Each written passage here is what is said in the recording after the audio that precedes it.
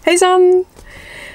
Jeg tenkte nå at jeg skulle lage en eh, liten vlogg. Eh, jeg er nemlig på vei ut for å hente noen felger hos foreldrene mine i Kviby. Og eh, de står nå på en annen bil med dekk på og alt. Og jeg skal dra og hente dem. Ta dem med meg tilbake til Alta. Eh, ta dekket av felgen. Pusse, prime og lakke felgen. Eh, og så sette på nye sommerdekk. For det har seg nemlig sånn at alfaen min har stått nå med vinterdekk eh, helt til nå, og det er jo straks juli, og jeg har veldig lyst til å få kjørt den. Så, så eh, jeg har på en måte ikke, jeg har ikke hatt noe dekk og felg med sommerdekk, så eh, nå må jeg liksom få ordna opp i det, da. Så da skal jeg fære ut til Kviby og få henta de felgene, og jeg har noen nye dekk som ligger og venter på meg, så eh, ja, jeg, jeg, ikke, jeg vet ikke hvor spennende det blir for dere å liksom bli med på ferden, men det her er jo en sånn ting som eh, En sånn typisk ting som jeg gjør, og som på en måte fyller min hverdag. Så jeg tenkte det at ja, vi får prøve å lage en vlogg og se om det blir interessant, og om det er noe dere liker. Så eh, ja. Da tenkte jeg at jeg tar dere med, og så får dere se litt av mitt liv og sånn.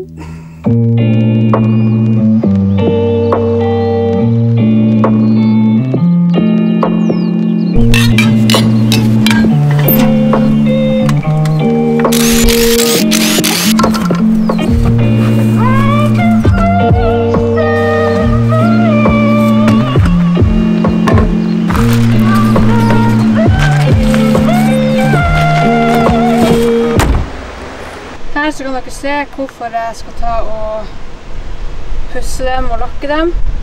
Det er jo masse stygge bruksmerker. Så eh, de her fulgte med en bil vi kjøpte, og da kom de sånn her. Så det ser ut som de har vært litt kantkjørt og, og sånn. Så da er det bare å pusse dem ned, prime, lakke.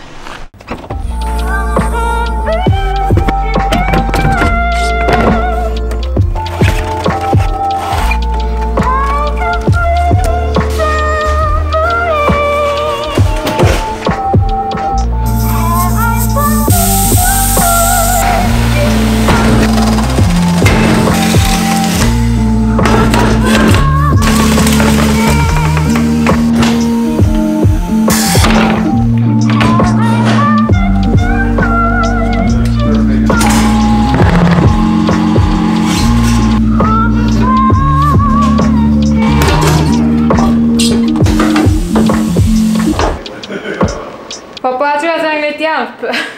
Den her jeg får ikke Det gamle, stive dekk. Det går an å prøve så bare ta den her.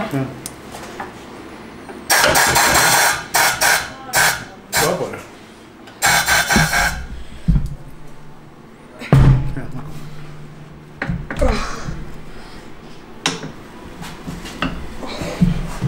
Det var bra, jeg skal pusse.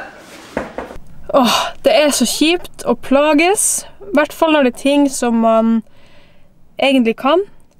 Jeg driver jo og legger om og bytter dekk eh, hele sommeren, men da er det stort sett semislicks som skal på, på felga til bilcross. Og da er det på en måte kort prosess, og dekkene er myke og enkle å få både av og på. Nå så var det hårde, gamle dekk som har sittet på felgen i gud vet hvor mange år. Så um, Nei, jeg plagdes, så jeg måtte spørre om hjelp. Så jeg fikk litt hjelp hos pappa og Johan. Så ja, det er jo litt kjipt, da, for jeg merker at det gjør at jeg begynner å tvile litt på hvor mye kan jeg egentlig, og, og den slags. Men herregud, det er jo helt normalt å plages litt, og jeg er jo tross alt ganske uerfaren fortsatt. Så uh, jeg er i hvert fall glad for at jeg tør å spørre om hjelp. Ehm, nå, jeg lærer jo stadig vekk nye teknikker på hvordan jeg bør gjøre ting. Nå er i hvert fall eh, dekkene av felgene, så jeg skal ta kveld nå, men i morgen så håper jeg å få pussa ned, kanskje sandblåst felgene. Muligens sparkle litt før det blir priming og lakking. Jeg håper den blir fin, jeg har ingen peiling, men eh, ja, jeg skal i hvert fall gjøre en innsats, for jeg gleder meg veldig til å få dekkene på alfaen.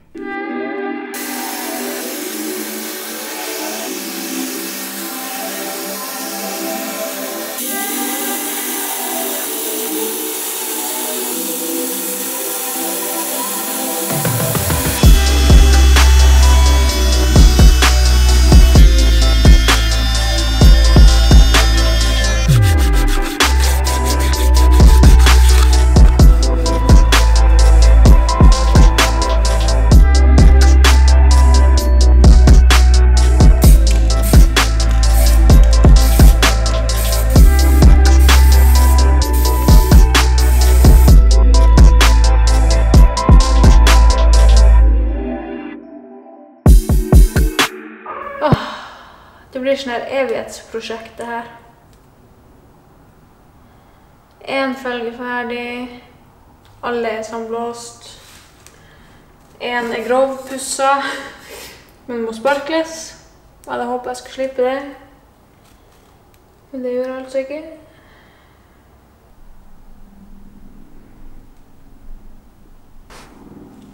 Ah.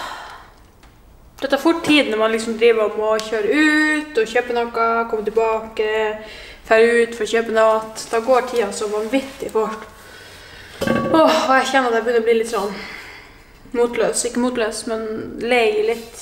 Åh. Syns det her begynner å ta eh, voldsomt med tid. Men Nå har jeg altså vært og kjøpt sparkel.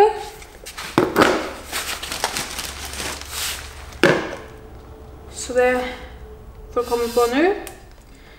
Eh, Men først så må det spises litt kick, for jeg merker det at eh, blodsukkeret begynner å bli lavt, jeg bli sulten, grinete, lei. Og da er det eneste som hjelper akkurat nå, det er litt eh, påfyll. Så Mika, you can do it.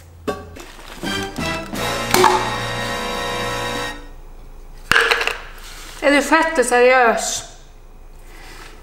Er du fette seriøs? Åh! Nå går jeg ut av mitt gode skinn.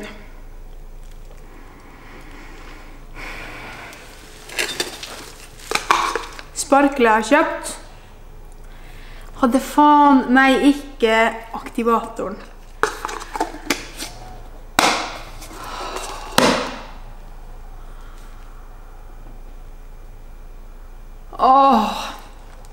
Det betyr enda en fuckings tur på Biltema. Åh. Typen var en reddende engel nå og for på Biltema for meg og bytta den sparkelen. Sånn at jeg slapp å fære enda en tur. Jeg har sikkert vært der syv ganger de siste to-tre dagene. Så eh, mens han gjorde det, så fikk jeg endelig tatt og prima denne felgen. Så nå er den ferdig prima og klar til å lakkes. Det må bare tørke litt. Og nå etter han kom med, med sparkelen, så har jeg fått klatta på litt. Åh, nå har jeg litt mer pågangsmot. I stad så ble jeg litt sånn Åh, jeg ble så lei et sekund. Men eh, nå begynner det å gå fremover, og nå tror jeg det skal gå relativt fort fra nå. Så nå må jeg bare stå på, så blir jeg ferdig i kveld. Ok, nå skal jeg vise dere noe sykt tilfredsstillende.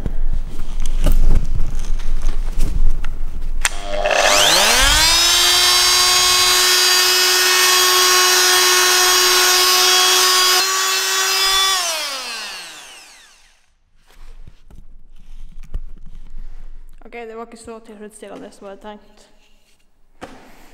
Jeg trodde den skulle bli helt borte, men uh, her må det også sparkles.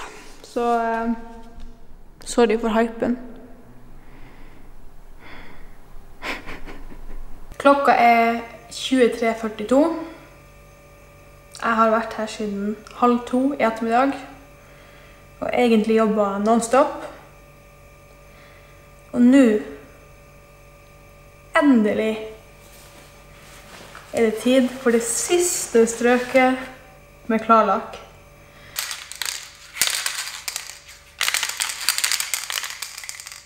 Jeg tror jeg blir litt tullete i hodet av å spraye her inne.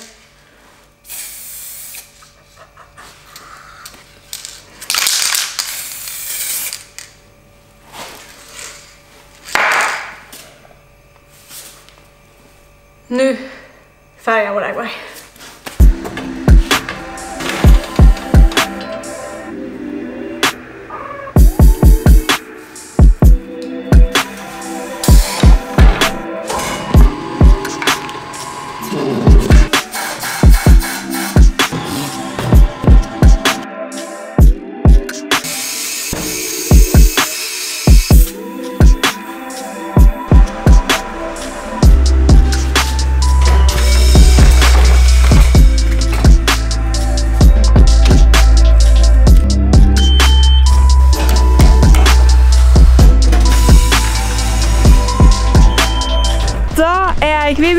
og det er på tide å få på dekkene. Åh. Jeg gleder meg.